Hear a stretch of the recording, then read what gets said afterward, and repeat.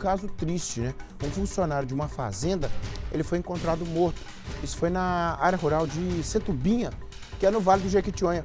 E segundo a polícia, ele morreu após um acidente com a máquina agrícola. Que tristeza, hein, Fantônio?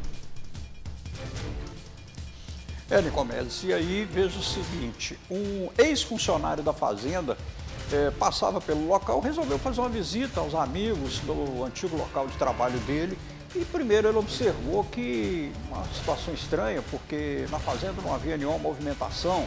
E ao aproximar de uma máquina para preparar alimento para os animais, ele observou algumas manchas de sangue, mas isso também poderia ser uma situação normal, porque afinal de contas algum animal podia ter ficado ferido.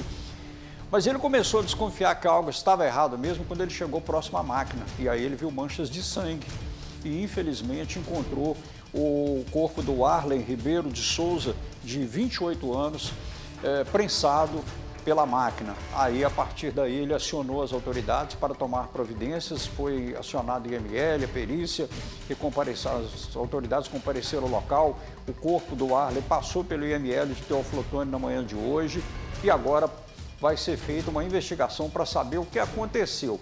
Um possível, a primeira hipótese, um possível acidente de trabalho.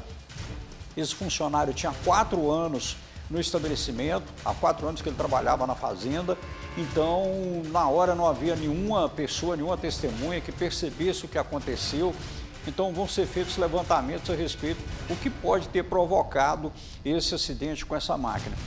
Nicomedes, com o, o, o, sentimento que a gente tem pelo passamento desse funcionário, mas é, há necessidade de se fazer um alerta com relação, é, no caso de quem trabalha, duas hipóteses: uma condição insegura de trabalho ou a possibilidade de um ato inseguro a condição é quando o ambiente não é favorável à atividade, quando às vezes as pessoas não recebem as devidas orientações aos equipamentos. E o ato inseguro é quando a pessoa tem todas as, as possibilidades de evitar um acidente, mas ele comete um descuido.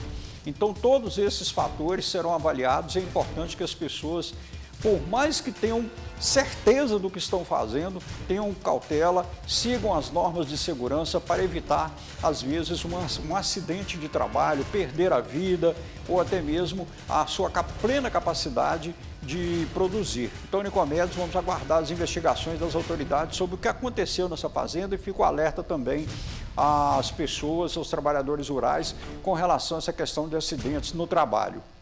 É, e recentemente a gente noticiou aqui um caso semelhante que aconteceu aqui na cidade de Itaiumi.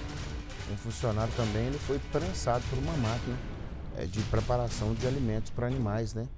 Às vezes a pessoa está acostumada ali no dia a dia a fazer aquele movimento repetitivo, quase que mecânico, de apertar aqui, colocar. É bom cada vez né, ter essa prudência para não incorrer nesse tipo de acidente. Que tragédia para a família e para os proprietários aí, né, Fantônio? Obrigado, viu, meu amigo?